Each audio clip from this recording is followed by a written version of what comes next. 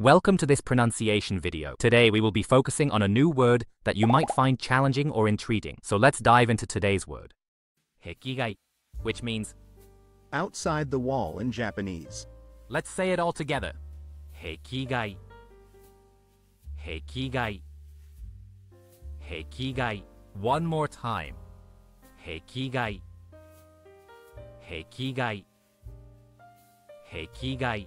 Thank you for joining us on this adventure in pronunciation. Remember, language is a journey, not a destination. Keep exploring, experimenting, and expanding your linguistic horizons. We'll see you next time.